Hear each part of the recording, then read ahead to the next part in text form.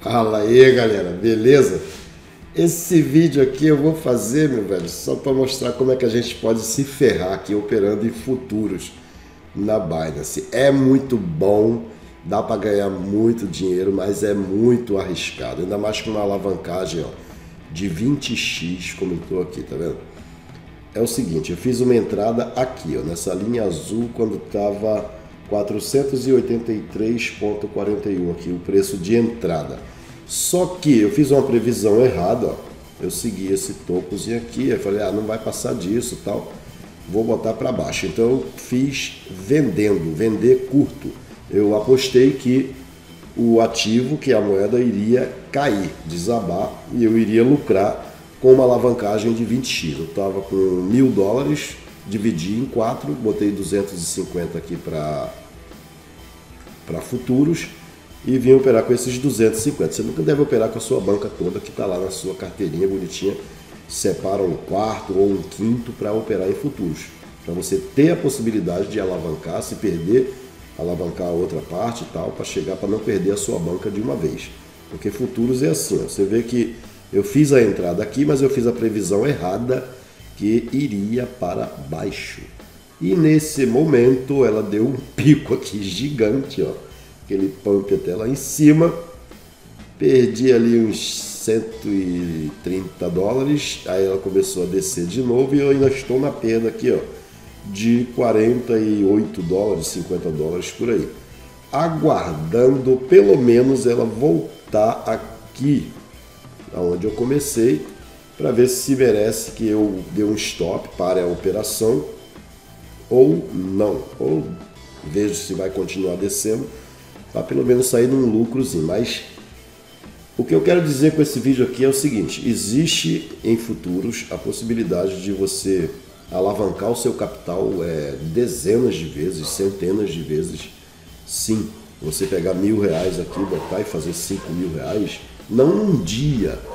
Você não tem que fazer num dia, você tem que fazer uma alavancagem suave, uma alavancagem com, com consciência, dividindo o valor da sua banca, pelo menos em cinco partes ou em quatro, para você poder começar a alavancar um, um, valor menor. Beleza? Tive que dar uma pausa aqui, que a, a minha filha chegou aqui no escritório, mas você vê que ó, já desceu, já chegou aqui mais ou menos no, no valor que eu comprei, tem as taxas e tal, não sei o que, e eu nunca consigo fazer a entrada certa, né? Eu botei aqui 483 e tal. Aí, ó, ó, bateu aqui, tá querendo subir de novo eu posso sair sem ter prejuízo, 5 dólares e tal. Mas como eu botei, eu especifiquei aquele valor de 250 que eu dividi a minha banca, eu falei, não, eu posso perder isso aqui. Então eu estou arriscando ele aí. Que existe sim a possibilidade de ter outra queda aqui e tal, e eu sair num lucro bom. Só que é, é, é muito relativo isso, cara, é muito relativo. Operar em futuros é, é bom pra caramba, mas para você que está começando, para você que ainda não sabe fazer uma análise técnica, uma análise gráfica boa, por exemplo, você vem aqui, ó, se eu botar aqui no gráfico, eu estou operando aqui num gráfico curtinho, de 3 minutos, mas no gráfico de uma hora você vai ter a, a direção que está indo, o, o, movimento desse ativo, você vai ter uma ideia melhor de, de como vai funcionar as próximas operações, os próximos candles, então, você aprendendo uma análise técnica, uma análise boa, é o melhor caminho. Se você chegar, ah, eu vi o fulano ganhar mil dólares, dois mil dólares, dez mil dólares, aí você for fazer sem entender nada, acaba se estrepando, cara. Acaba se estrepando porque o bagulho aqui é doido. Entendeu?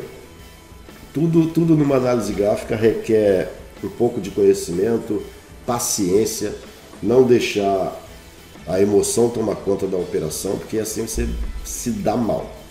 Eu fiz a entrada, fiz a entrada, beleza, mas só para fazer essa entrada eu separei o capital em quatro e estou arriscando apenas metade. É, galera, tive que dar pausa aqui, que o amigo chega aqui, chega aí, aparece aqui, Lili. Deixa eu ver se a carosca dele tá aparecendo aqui. Aí, Lali, meu amigo Leandro tá aprendendo, tá aprendendo. Mas aí, enquanto eu dei essa pausa, ó, passou aqui da linha, velho. Desceu de novo. E eu já Pô. saí do lucro. Peraí, vou tirar. Aí tirei aqui, ó. Tô com 271. Então é assim que funciona futuros. Ou você bota para risco, ou você. O Leandro já ganhou um dinheirinho. Ou já ganhou um dinheirinho, seguindo as dicas, hein? Tá aprendendo. Não pode ter olho grande. Bateu a meta?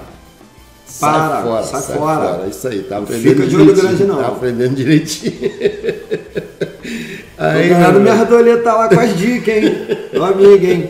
Segue aí o canal, dá like pra vocês ficarem dentro da novidade.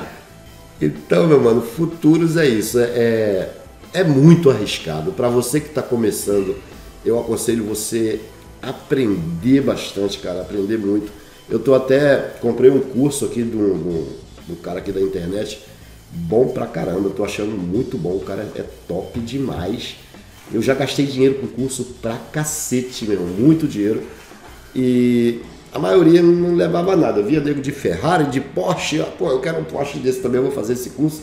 Eu já gastei muita grana, meu. Você não imagina quanta grana eu já gastei de curso. E esse, esse curso desse maluco tá, tá me chamando muita atenção. Um curso muito bom, bem didático, bem explicado. O cara é top, o cara é fera mesmo. O cara é um. Não posso dizer guru, que guru já, já caiu na, na mesmice, mas o cara é muito pica das galáxias. Meu amigo acabou de meter o nariz no vidro ali na janela. Ele foi olhar com o vidro fechado, rapaz. Só ele mesmo. Ele mesmo. Então, galera, futuros é isso. Futuro é, é muito risco. Você corre o risco de ganhar muito dinheiro rápido e corre o risco de perder a sua banca bem rápido. Por isso que eu fiz esse vídeo aqui no meio de uma operação. Eu fiz a entrada, tava me ferrando, foi lá em cima, voltou no valor que eu comprei, desceu e me deixou no lucro. Mas isso, ó, que está escrito aqui embaixo, ó, preço de liquidação. Isso aqui não é Black Friday não. Liquidação aqui é a eliminação da sua banca. Se você tem mil dólares, tá lá na sua carteirinha à vista, você botar ela para futuros, não faz isso. Bota um quarto, um quinto, ou se você está começando, bota 10% da sua banca para futuros para você ir aprendendo. Aprendendo. Estou fazendo aqui sem, sem traçar um canal, sem traçar uma média móvel, só no olho, mas o ideal é você aprender a traçar uma média móvel, um, um canal de tendência, um suporte e resistência que é muito importante. O suporte e resistência, você tem que aprender sobre isso. Então, nesse curso que eu estou fazendo é show de bola, não é meu curso, é o cara daqui da internet, o link está aqui abaixo se você quiser dar uma olhada. Eu estou achando top demais, velho, top demais. Beleza? E isso aí é o que eu queria passar para você, o risco que é operar em futuros, o risco de ganhar muito e de perder sua banca toda assim, em um piscar de olhos. Então não bota sua banca toda de maneira alguma para operar em futuros aqui na Binance, tá? Tem mais vídeos aqui no canal sobre futuros, dá uma olhadinha que você vai entender o que eu estou falando, valeu? Até o próximo vídeo e fui!